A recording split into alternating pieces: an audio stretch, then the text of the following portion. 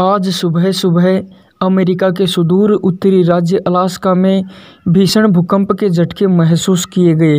Reactor पैमाने पर भूकंप की तीव्रता 7.5 मापी गई। भूकंप की तीव्रता को देखते हुए अलास्का से सटे उत्तरी महासागर के क्षेत्र में सुनामी की चेतावनी जारी कर दी गई। कुछ जगहों पर 1.5 से 2 फीट ऊँची सुनामी लहरें भी उठी। बाद में चेतावनी को एडवाइजरी में बदल दिया गया।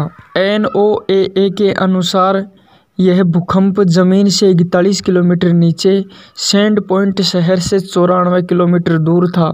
सुनामी की चेतावनी कैनेडी एट्रेंस से यूनिमेक पास तक जारी की गई। एन ने बताया कि दोपहर करीब पाँच बजे सात पॉइंट चार तीव्रता के झटके महसूस किए गए। बाद में तीव्रता को अपग्रेड किया गया। अलास्का भूकंप केंद्र के मुताबिक पहले झटके के बाद दो और झटके महसूस किए गए। जिनकी तीव्रता पाँच से ज़्यादा थी। नेशनल वेदर सर्विस ने लोगों को आगाह किया कि शक्तिशाली लहरें और करंट का उनके नज़दीकी तट पर असर हो सकता है। लोगों को खतरे के लिए सतर्क करते हुए तट से दूर रहने के लिए कहा गया है। साथ ही ऊंचाई के क्षेत्र में जाने के लिए कहा गया है। वीडियो अच्छा लगा तो लाइक, शेयर, कमेंट करें। देश विदेश की लेटेस्ट खबर के लिए चैनल को अभी सब्सक्राइब करें।